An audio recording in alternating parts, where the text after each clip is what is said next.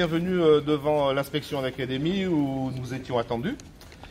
Donc, euh, aujourd'hui, les organisations syndicales représentées à la formation spécialisée sécurité, santé et conditions de travail refusent de siéger dans l'instance pour euh, une question euh, extrêmement simple. Il est difficile de parler de santé et de sécurité au travail lorsqu'on allonge notre euh, durée de travail, notre durée de cotisation et que nous allons tous nous retrouver plus ou moins à travailler vieux et tard. Voilà. Certainement dans des conditions de santé et de sécurité qui seront peu optimales. Bon, d'autre part, euh, beaucoup d'entre vous ont été destinataires. On a reçu une jolie communication euh, du, euh, du, ministère et du rectorat qui nous explique qu'ils vont tout mettre en œuvre pour que ça aille mieux dans l'éducation nationale. Alors, j'ai relevé deux perles. Il y a par exemple, il y a prévenir le risque routier.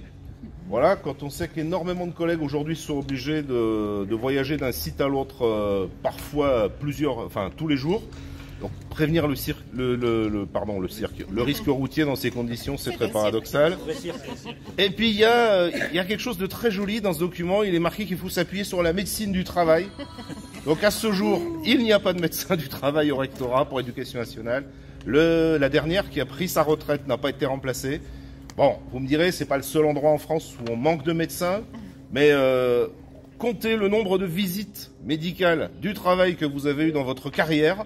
Zéro. Et vous comprendrez que euh, la situation est quand même dramatique. Voilà. Donc, pour finir, eh bien, euh, nous ne siégeons pas dans cette instance parce que clairement, on se moque de nous. Voilà. Merci. Je dis dans la rue pour faire euh, pour obtenir le retrait de la réforme des retraites. Et rendez-vous à la Bourse du Travail. À 10 heures. 10 heures.